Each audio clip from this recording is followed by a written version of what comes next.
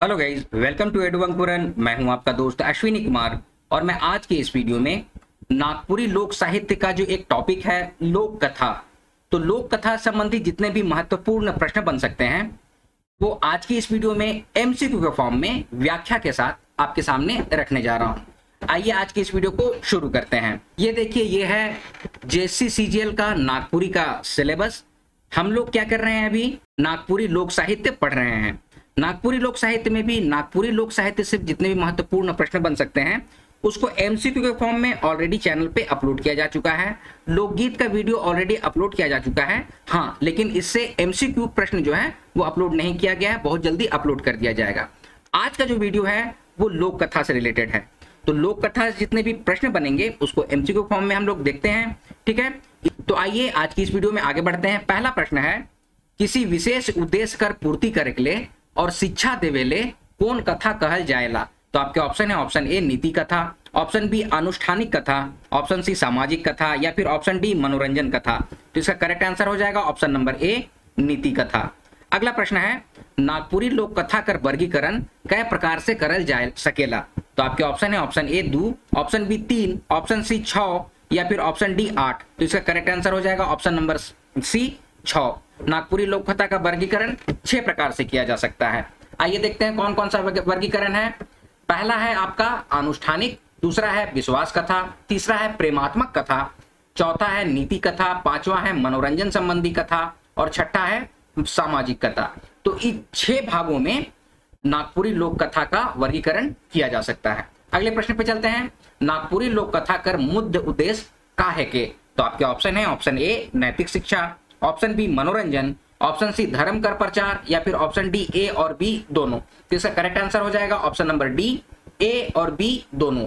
नागपुरी लोक कथा का मुख्य उद्देश्य जो होता है, वो नैतिक शिक्षा प्रदान करना है और मनोरंजन करना है। ठीक है? अगला प्रश्न है, नागपुरी लोक कथा हामिन के का जिनिस ने उपलब्ध है के? तो आपके ऑप्शन है, ऑप्शन ए गद्य, ऑप्शन बी पद्य, ऑप्शन सी मंत्र, या फिर ऑप्शन डी उपरे देवल कोनो नहीं। तो इसका करेक्ट आंसर हो जाएगा ऑप्शन नंबर ई ए और बी दोनों। देखिए दोस्तों, अगर आपको डिटेल्स में ए और बी इस तरह का ऑप्शन अगर ना रहे, ठीक है तो आप लोग ऑप्शन नंबर ए पे जाइएगा, ठीक है? और अगर दिया हुआ रहेगा ए और बी दोनों तो गद्य और पद्य दोनों में लोक कथा जो है, उसको वर्णन किया जाता है, वर्णित किया जाता है, ठीक है? तो इसका करेक्ट आंसर हो जाएगा ऑप्शन नंबर ई ए और बी दोनों। और अगर ये ऑप्शन ना रहे तो आपको किस पे जाना है? गद्य पे जाना है, ठीक है? चलिए, अगला प्रश्न है। पाश्चात्य विद्वान मन नागपुरी लोक कथा कर वर्गीकरण कई प्रकार से कर हकें तो आपके ऑप्शन है ऑप्शन ए सात ऑप्शन बी तीन ऑप्शन सी चार, या फिर ऑप्शन डी आठ। तो इसका करेक्ट आंसर हो जाएगा ऑप्शन नंबर सी चार। जो पाश्चात्य विद्वान लोग जो हैं, उन लोग चार तरह से लोक कथा का वर्गीकरण किए हैं। अब कौन कौन सा है? आइए देखते हैं। पहला है कल्पित कथा, दूसरा है परियों कर कथा तीसरा है दान कथा और चौथा है पौराणिक कथा। तो अगर क्वेश्चन में ये आ गया कि पाश्चात्य कवि लोग किस प्रकार से वर्गीकरण किए हैं लोक कथा का तो इन चार प्रकार से किए हैं, ठीक है? चलिए, अगला प्रश्न है। डॉक्टर स्तीत थोपसन, नागपुरी लोक कथा कर वर्गीकरण कई प्रकार से कर हकाएँ? तो आपके ऑप्शन है ऑप्शन ए दो ऑप्शन बी तीन ऑप्शन सी छ या फिर ऑप्शन डी आठ। तो इसका करेक्ट आंसर हो जाएगा ऑप्शन नंबर ए दो प्रकार से किए हैं। कौन कौन सा वो प्रकार है? तो दो प्रकार है, पहला है सरल कथाएँ और दूसरा है जटिल कथाएँ। तो स्टीव थोसन जो है, वो दो प्रकार से नागपुरी लोक कथा का वर्गीकरण किए हैं, ठीक है? चलिए, अगला प्रश्न है, करम, जितिया, तीज, सरहुल, सोहराय, परब, कर समय, कौन कथा कहल जाएला तो आपके ऑप्शन है ऑप्शन ए नीति कथा ऑप्शन बी अनुष्ठानिक कथा ऑप्शन सी सामाजिक कथा, या फिर ऑप्शन डी मनोरंजन कथा। तो इसका करेक्ट आंसर हो जाएगा ऑप्शन नंबर बी अनुष्ठानिक कथा। तो जो भी पर्व त्योहार के समय जो कथा सुनाई जाती है उसको हम लोग अनुष्ठानिक कथा की श्रेणी में रखते हैं, ठीक है? अब जैसे करम हो गया, जितिया हो गया, तीज हो गया, सरहुल हो गया, करम में हम लोग धर्म और करम नाम का जो दो लोग हैं, उसका जो कथा कहते हैं तो ये सब सारा कुछ किसके अंतर्गत आता है? अनुष्ठानिक कथा के अंतर्गत आता है, ठीक है? आई होप आपका कॉन्सेप्ट क्लियर हुआ होगा। अगला प्रश्न है, डॉक्टर सत्येंद्र नागपुरी लोक कथा कर वर्गीकरण कई प्रकार से कर हकाएँ? तो आपके ऑप्शन है ऑप्शन ए सात ऑप्शन बी तीन ऑप्शन सी छ या फिर ऑप्शन डी आठ। तो इसका करेक्ट आंसर हो जाएगा ऑप्शन नंबर ए। सात प्रकार से इन्होंने नागपुरी लोक कथा को डिवाइड किया है, ठीक है? कौन कौन है देख लेते हैं। पहला है गाथाएँ, दूसरा है पशु संबंधी अथवा पंचतंत्र, तीसरा है परी कहानी, चौथा है विक्रम की कहानी, पांचवा है बुजवेल छठा है निरीक्षण गर्भित कहानियाँ, और सातवां है साधी, साधु और पीरों की कहानियाँ। तो इन सात प्रकार में डॉक्टर सत्येंद्र जो है साहित्यकार, उन्होंने नागपुरी लोक कथा का वर्गीकरण किया है। ठीक है? अगला प्रश्न है, जो कथा परब त्योहार कर अवसर ने कहल जाएला से कौन कथा है के? तो आपके ऑप्शन है ऑप्शन ए नीति कथा ऑप्शन बी अनुष्ठानिक कथा ऑप्शन सी सामाजिक कथा, या फिर ऑप्शन डी मनोरंजन कथा। इसका करेक्ट आंसर हो जाएगा ऑप्शन नंबर बी अनुष्ठानिक कथा। अगला प्रश्न है, संस्कृत कर आचार्य आनंद वर्धन नागपुरी लोक कथा कर वर्गीकरण कै प्रकार से कर हक हैं? तो आपके ऑप्शन है ऑप्शन ए सात ऑप्शन बी तीन. ऑप्शन सी छ या फिर ऑप्शन डी आठ. तो इसका करेक्ट आंसर हो जाएगा ऑप्शन नंबर बी तीन. जो संस्कृत के आचार्य आनंद वर्धन है, वो तीन प्रकार से विभाजित किए हैं। कौन कौन सा है प्रकार? पहला है परिकथा, दूसरा है सफल कथा और तीसरा है खंड कथा। तो आचार्य आनंद वर्धन जो है, वो तीन प्रकार से लोक कथा का वर्गीकरण किए हैं। देखिए दोस्तों, आपको नागपुरी का जो लोक साहित्य है ना, उसमें साहित्यकारों ने लोक कथा को, लोक साहित्य को लोकगीत को किस तरह से विभाजित किए हैं, कितने कितने प्रकार से विभाजित किए हैं, वो आपको दिमाग में रखना होगा। इससे प्रश्न पूछे गए हैं, ठीक है? तो इससे प्रश्न पूछने की संभावना ज़्यादा है, ठीक है? अगला प्रश्न है, संस्कृत कर आचार्य हरिचंद्र नागपुरी लोक कथा कर वर्गीकरण कई प्रकार से कर हक तो आपके ऑप्शन है, ऑप्शन ए सात, ऑप्शन बी तीन, ऑप्शन सी चार या फिर ऑप्शन डी आठ। तो इसका करेक्ट आंसर हो जाएगा ऑप्शन नंबर सी चार। तो आचार्य हरिचंद्र जो है, वो चार प्रकार से लोक कथा का वर्गीकरण किए हैं। कौन कौन सा है? पहला है अर्थ कथा दूसरा है काम कथा तीसरा है धर्म कथा और चौथा है संकीर्ण कथा तो इन चार कथाओं इन लोक कथा को इन चार तरह से वर्गीकृत किया है। किसने किया है? तो आचार्य हरिचंद्र ने किया है। ठीक है? दोस्तों, आप लोग इसका स्क्रीनशॉट लेते जाइए। बहुत सारे दोस्तों ने ये कहा है कि, सर, वीडियो तो समझ में आ जा रहा है, लेकिन याद नहीं हो पा रहा है। तो याद करने के लिए आपको पीडीएफ की ज़रूरत पड़ेगी, या तो फिर आप स्क्रीनशॉट लीजिए और लिख लिख के याद कीजिए, ठीक है? पीडीएफ के लिए नीचे व्हाट्सअप नंबर दिया हुआ है व्हाट्सअप कर सकते हैं आप और पीडीएफ ले सकते हैं। चलिए, अगला प्रश्न है ई कथा विशेष कर आजा आजी छुआ मन के सुनावे ना। जे छुआ मन के आनंदित करेला, कौन कथा कहल जाएला तो आपके ऑप्शन है ऑप्शन ए नीति कथा ऑप्शन बी अनुष्ठानिक कथा ऑप्शन सी सामाजिक कथा, या फिर ऑप्शन डी मनोरंजन कथा। तो इसका करेक्ट आंसर हो जाएगा मनोरंजन कथा। मनोरंजन कथा जो है, वो ज़्यादातर जो वयोवृद्ध लोग जो होते हैं, बूढ़ा पुरानिया लोग जो होते हैं, वो सुनाते हैं बच्चों को। और उससे वो कुछ ना कुछ नीति शिक्षा की बात या कोई उद्देश्य की पूर्ति भी करते हैं। ठीक है? तो इसका करेक्ट आंसर हो जाएगा ऑप्शन नंबर डी मनोरंजन कथा। अगला प्रश्न है, नागपुरी लोक कथा कर शैली कैसन होवेला? तो आपके ऑप्शन है ऑप्शन ए व्यवहारिक। ऑप्शन बी अव्यवहारिक। ऑप्शन सी ए और बी दोनों, या फिर ऑप्शन डी ऊपरे देवल, कोनो नहीं। इसका करेक्ट आंसर हो जाएगा ऑप्शन नंबर ए व्यवहारिक अगला प्रश्न है, नागपुरी लोक कथा का स्वभाव है के? तो किस तरह का स्वभाव है? आपके ऑप्शन है, ऑप्शन ए, परिवर्तनशील, ऑप्शन बी, अपरिवर्तनशील, ऑप्शन सी, ए और बी दोनों, या फिर ऑप्शन डी, ऊपरी देवल, कोनो नहीं। इसका करेक्ट आंसर हो जाएगा, परिवर्तनशील। नागपुरी लोक कथा का जो स्वभाव है, वो परिवर्तनशील है, ठीक है? इसको किस तरह से आप समझिएगा कि समय के साथ जो होता है ना लोक कथा में बदलाव आते रहता है। इसीलिए नागपुरी लोक कथा का जो स्वभाव है, वो परिवर्तनशील होता गया है। ठीक है? चलिए, अगला प्रश्न है। साधारणतः नागपुरी लोक कथा के कौन सुनावेला तो आपके ऑप्शन है, ऑप्शन ए, बूढ़ा पुरनिया मन, ऑप्शन बी गाँव कर पहान, ऑप्शन सी गाँव कर पुरोहित, या फिर ऑप्शन डी, साहित्यकार मन। तो इसका करेक्ट आंसर हो जाएगा ऑप्शन नंबर ए, बूढ़ा पुरनिया मन। बूढ़ा पुरनिया लोग जो होते हैं ना वही नागपुरी लोक कथा को सुनाते हैं। अगला प्रश्न है, साधारणतः नागपुरी लोक कथा ने वीर मन कर वर्णन कौन गुण ने करल जाएला तो आपके ऑप्शन है ऑप्शन ए रजोगुण ऑप्शन बी तमोगुण ऑप्शन सी ओज गुण या फिर ऑप्शन डी सतगुण। तो इसका करेक्ट आंसर हो जाएगा ऑप्शन नंबर सी ओज गुण अगला प्रश्न है, नागपुरी लोक कथा में इस बात को समझ लेना ज़रूरी है कि उनमें निराशावाद का नाम तक नहीं है। ऊपरे देवल गोइट केकर लागेला। तो आपके ऑप्शन है option A Maxim Gorky option B doctor Grierson, option C doctor Bhuvaneshwar Anuj, या फिर ऑप्शन डी हजारी प्रसाद द्विवेदी। तो इसका करेक्ट आंसर हो जाएगा ऑप्शन नंबर ए, मैक्सिम गोरकी अगला प्रश्न है, कतई प्रकार कर तत्व कर आधार ने नागपुरी लोक कथा के परखल जा सकेला? तो आपके ऑप्शन है ऑप्शन ए चार ऑप्शन बी पाँच ऑप्शन सी छ या फिर ऑप्शन डी आठ।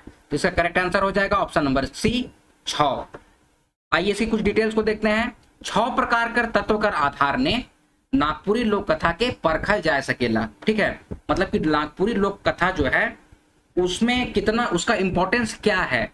ठीक है? वो जनहित में कितने दूर तक फैला हुआ है? ये सब के बारे में कौन कौन से पॉइंट्स हैं जिसको, जिसके आधार पर नागपुरी लोक कथा को हम लोग परख सकते हैं? ठीक है? तो वो छह प्रकार से है। कौन कौन सा? कथा वस्तु। ठीक है? कथा वस्तु के अंतर्गत क्या आता है? परंपरा आता है, जीवन समस्या आता है अंधविश्वास लोक विश्वास और नैतिकता आता है। ठीक है? दूसरा है तत्व, पात्र, जिसमें कि राजा और पशु पक्षी, ये सब जो होते हैं, पात्र, उसके आधार पर भी नागपुरी लोक कथा को परखा जाता है।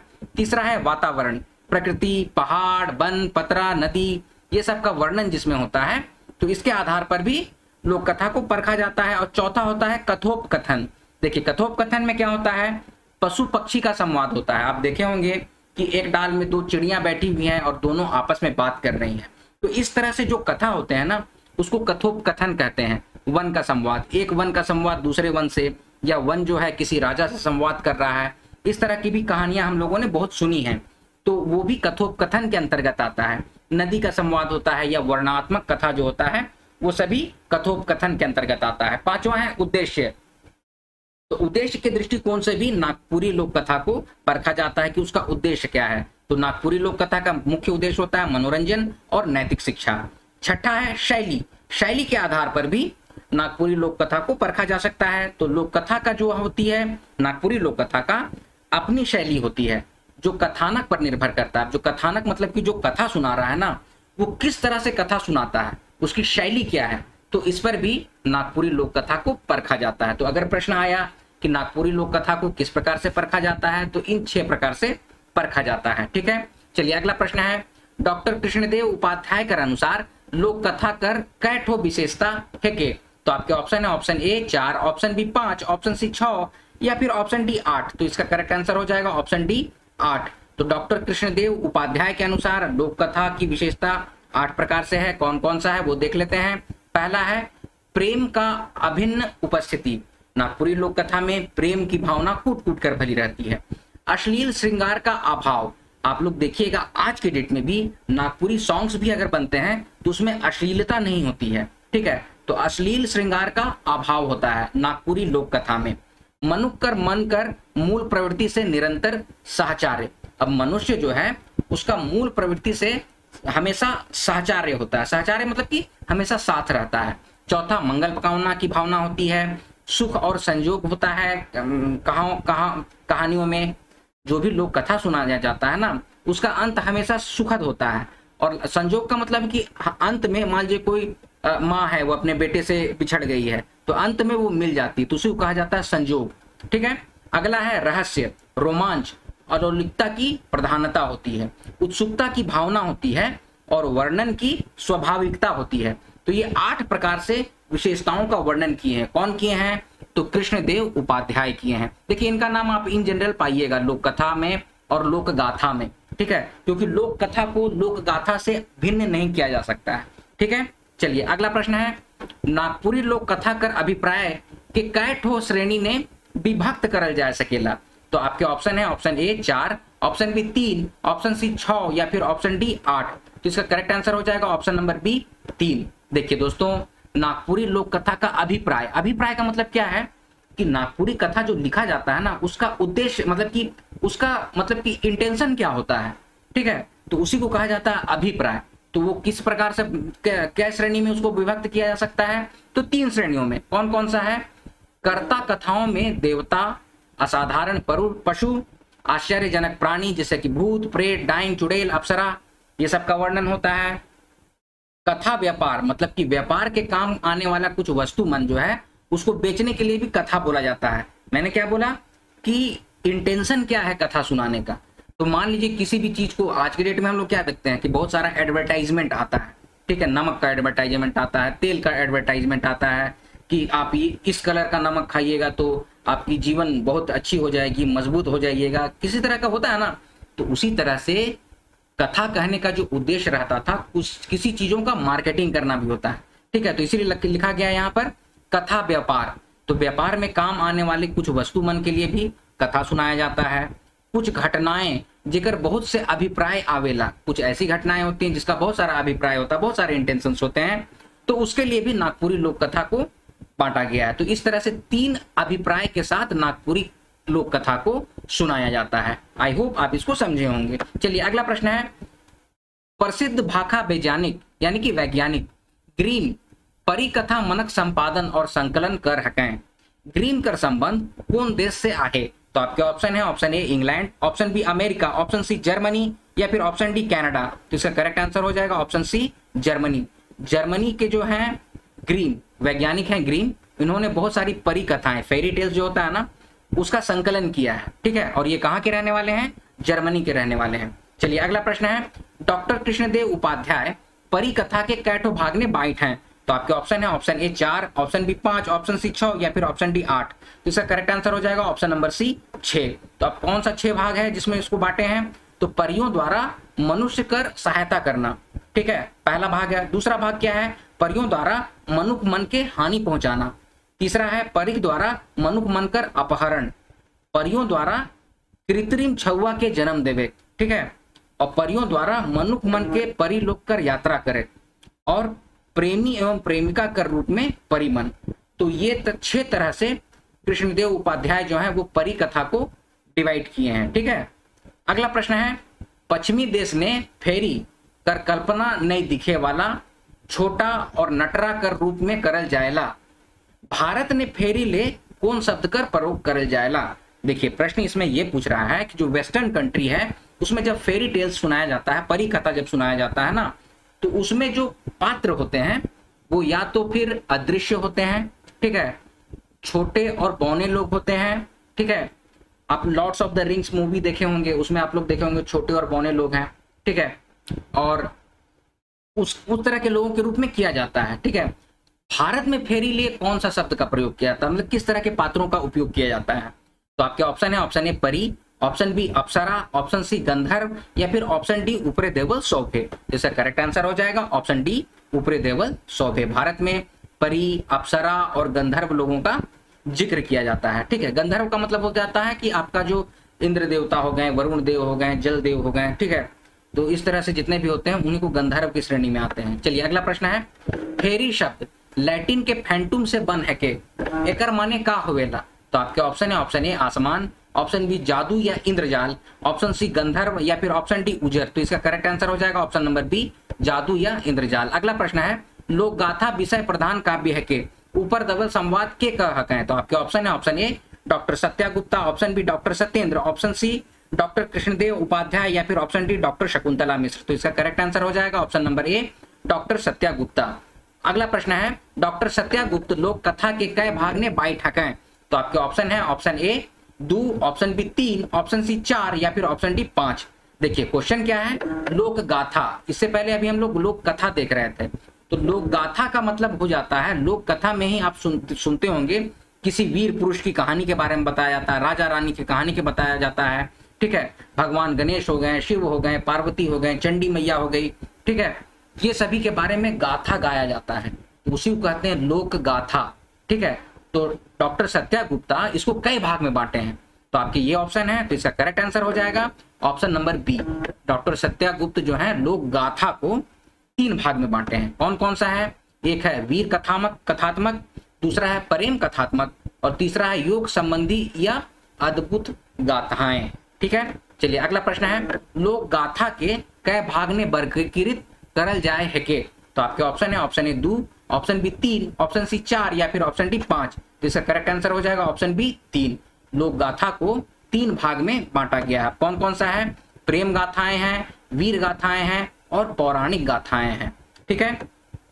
अगला प्रश्न है, डॉक्टर रॉबर्ट ग्रेप्स लोक गाथा कर कतई विशेषता बताए हकें तो आपके ऑप्शन है ऑप्शन ए पाँच ऑप्शन बी दस ऑप्शन सी ग्यारह या फिर ऑप्शन डी बारह।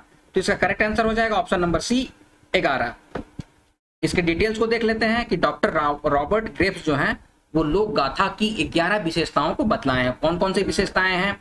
आपका है अज्ञात रचनाकार, दूसरा है प्रामाणिकता की कमी, तीसरा है संगीत का साहचर्य एवं सहयोग। आप लोग देखिएगा, गाथा सुनाते सुनाते बीच में लोग गाना गाने लग जाते हैं, ठीक है? या फिर कविता सुनाने लग जाते हैं। तो वो सभी जो है लोक गाथा के अंतर्गत आता है, ठीक है? अगर मान लीजिए पृथ्वीराज चौहान के बारे में बतला रहे हैं, भगवान श्री राम के बारे में बतला रहे हैं, भगवान शिव के बारे में बतला रहे हैं, ठीक है? या किसी भी चीज़ के बारे में बतलाते हैं, हम लोग अपना, आप झारखंड के जो वीरवर जो हैं, भगवान बिरसा मुंडा के बारे में मान लीजिए, ठीक है? तो उन लोगों के बारे में बतलाते बतलाते बीच में लोग कविता या फिर गाना टाइप से गाने लगते हैं तो वही लोक गाथा है, ठीक है? चौथा है स्थानीयता की गंध, पांचवा है मौखिक परंपरा, छठा है अलंकृत शैली का अभाव, अलंकृत शैली का अभाव होता है, ठीक है? सातवां है रचना के, रचनाकार के व्यक्तित्व का अभाव। आठवां है दीर्घ कथानक की विद्यमानता।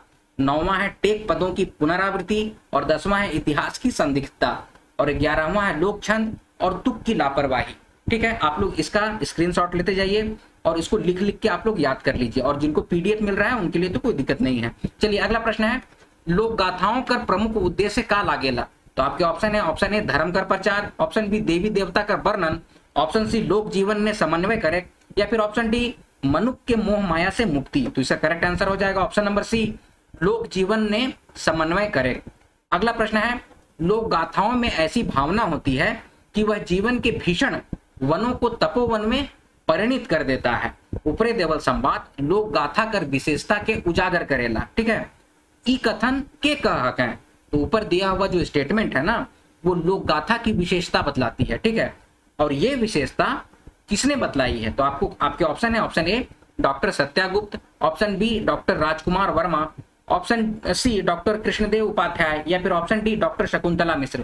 तो इसका करेक्ट आंसर हो जाएगा option number B doctor Ram Kumar Verma.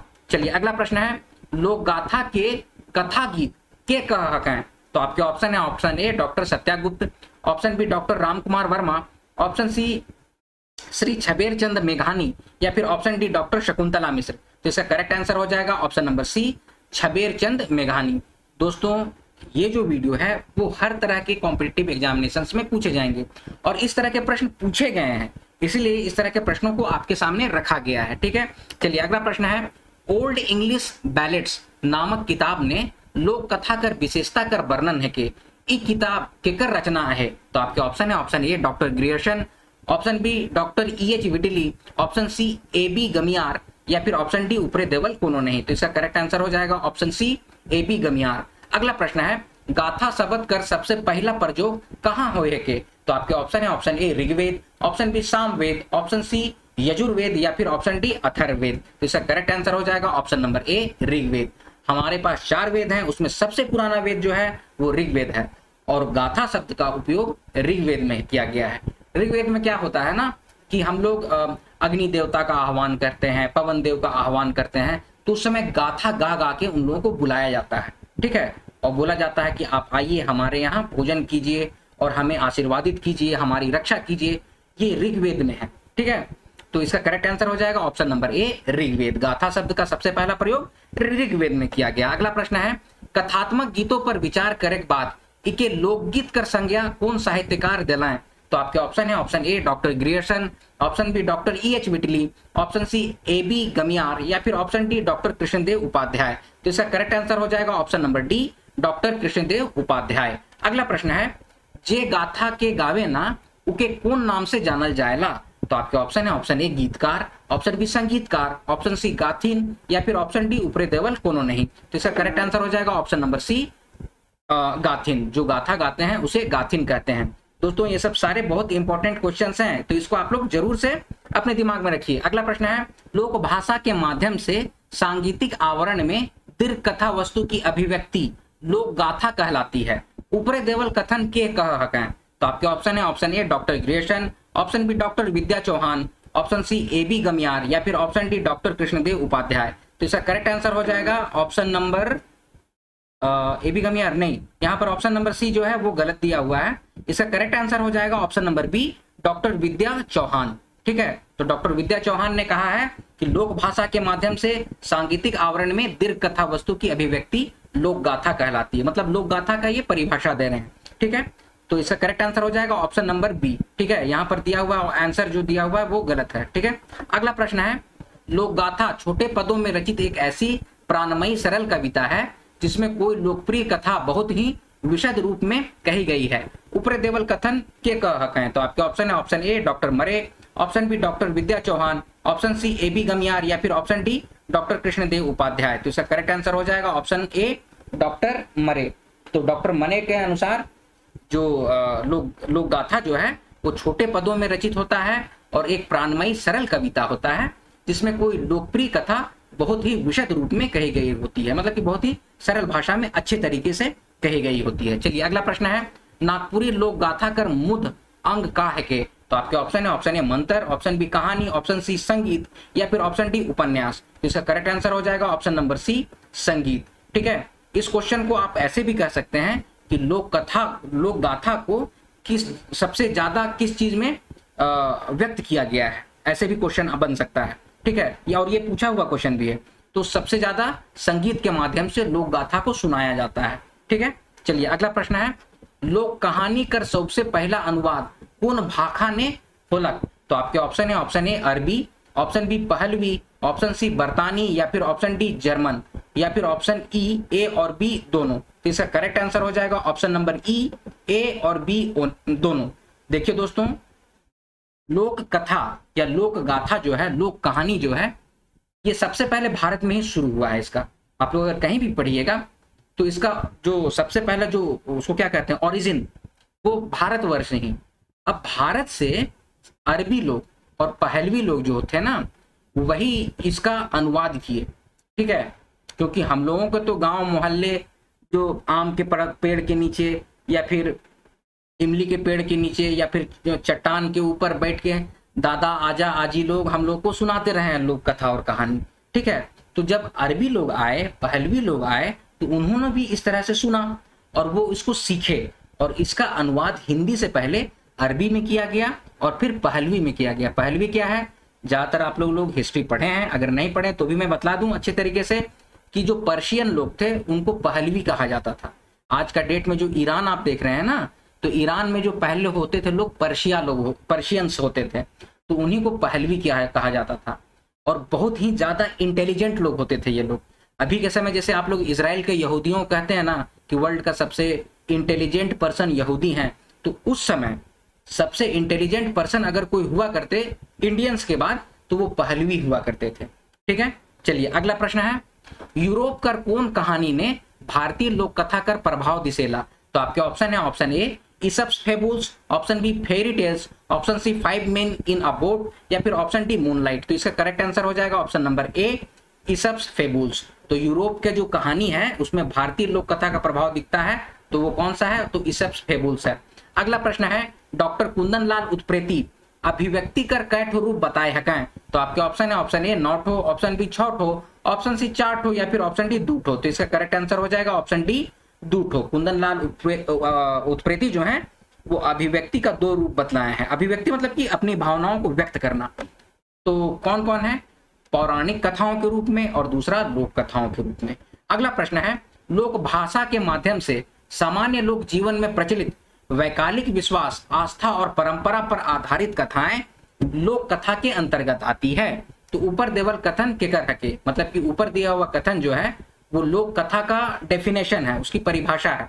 तो ये परिभाषा कौन दिए हैं?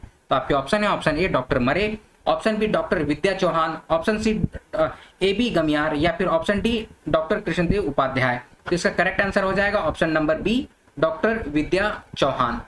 अगला प्रश्न है क्वेश्चन नंबर 43 लोक में प्रचलित और परंपरा से चली आने वाली मूलतः मौखिक रूप में प्रचलित कहानियाँ, लोक कहानियाँ हैं। ऊपर देवल के कर के तो आपके ऑप्शन है option A doctor Murray, option B doctor Vidya Chauhan, option C doctor Satyendra, या फिर option D doctor Krishnadev Upadhyay. तो इसका करेक्ट आंसर हो जाएगा। Option C doctor Satyendra. अगला प्रश्न है लोक कथाओं में मानस लोक कथा की सब प्रकार की भावनाएँ तथा जीवन दर्शन समाहित है। उपरे देवल कथन के कर हके तो आपके ऑप्शन है, option A, doctor Satya Gupta option B doctor Vidya Chauhan, option C doctor Satyendra, या फिर option D doctor Krishnadev Upadhyay. तो इसका करेक्ट आंसर हो जाएगा option number A, doctor Satya Gupta अगला प्रश्न है भूत जानने की जिज्ञासा घटनाओं का सूत्र, सभी कुछ लोक कथा में मिल जाता है। ऊपर देवल कथन के कर हके। तो आपके ऑप्शन है option A doctor Satya Gupta option B doctor Vidya Chauhan option C doctor Satyendra, या फिर option D doctor Krishnadev Upadhyay. तो इसका करेक्ट आंसर हो जाएगा। Option A doctor Satya Gupta तो गाथा कर भाखा कैसन होवेला? तो आपके ऑप्शन है ऑप्शन ए स्थानीय ऑप्शन बी सरल ऑप्शन सी बोधगम्य, या फिर ऑप्शन डी ऊपरे देवल शोभे। तो इसका करेक्ट आंसर हो जाएगा ऑप्शन डी ऊपरे देवल शोभे। तो लोक गाथा की जो भाषा होती है, वो स्थानीय भी होती है, सरल भी होती है और बोधगम्य होती है। मतलब कि आपकी बुद्धि का वर्धन करती है, ठीक है? तो उसी को कहते हैं बोधगम्य। तो इसका करेक्ट आंसर हो जाएगा ऑप्शन नंबर डी ऊपर देवल शोभे अगला प्रश्न है, लोक गाथा ने का जिनिस कर अभाव दिसेला?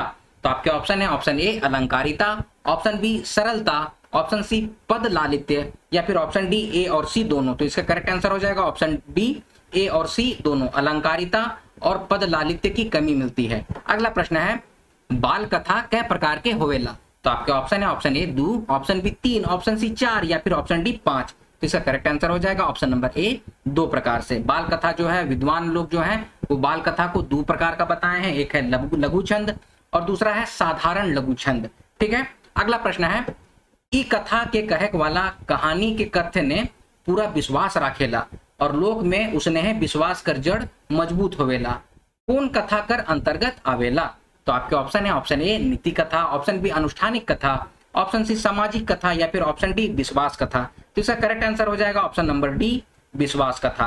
अगला प्रश्न है क्वेश्चन नंबर फिफ्टी भाई बहन कर प्रेम, राजकुमार राजकुमारी कर प्रेम, माय कर अपन छुआ मन से प्रेम कौन कथा कर अंतर्गत आवेला।